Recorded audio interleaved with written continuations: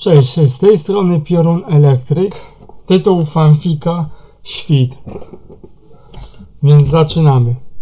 E, Będzie to moje pierwsze będą fanfiki z serii My Little Pony Historia alternatywna, więc za pewne walnięcia, e, pomyłki, bardzo przepraszam, to się poprawi w przyszłości, więc zaczynamy. Laboratorium Napędu Odrzutowego i Fizyki Doświadczalnej gdzieś w gminie Celestynów, gdzie obecnie mieszkam.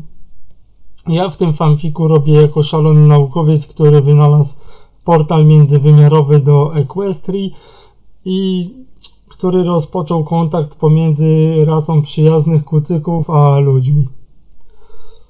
Budowa akceleratora cząstek posuwała się bardzo dynamicznie. Części były zamawiane z Chin i innych części świata. Wszystko przyjeżdżało regularnie kontenerami do laboratorium. Inżynier Piorun Elektryk rozpakował kolejny kontener z chińskimi częściami i westchnął. Do kurwy nędzy jebana macie. Czy te tempe chuje nie mogą pakować wszystkiego w standardy tak jak my tego życzymy? Przecież to samo się prosi o nam elektryzowanie i jakieś uszkodzenia. Jego asystent Mirek to tylko wszedł i do środka poświecił latarkę i powiedział To wygląda jakby tu tornado przeszło trzecia wojna światowa i najazd Marsjan. To jest jakiś nieład. Ta, zobacz Mirku, co tu się odwala. Podniósł jakiś dziwny pakunek z napisem mikroprocesory. Chyba mikroukłady scalone. Cholera wie jak to nazwać, oni wszystko tymi swoimi znaczkami walą.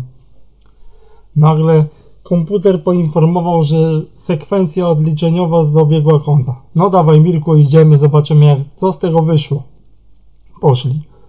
Wejście do samego laboratorium było strzeżone przez stalowe drzwi o grubości 50 cm. Po co ci tyle złomu? Co ty? To jest tylko podpucha, Mirek. Przecież sam pamiętasz, jakie robiliśmy. W środku są puste, one mają tylko udawać, że są tak grube. A co jest pomiędzy jedną ścianą a drugą metalu? Zasypaliśmy wszystko gipsem.